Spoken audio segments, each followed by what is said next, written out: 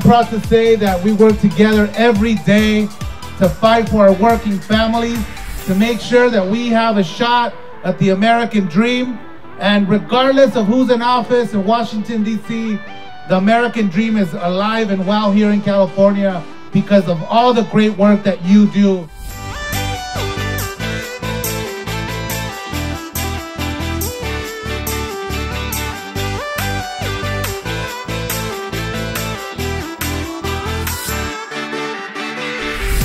County employee and I am proud to be a county employee, but most of all, when I serve my members, that's the number one thing that I feel that I have done something. So I thank you all for coming today.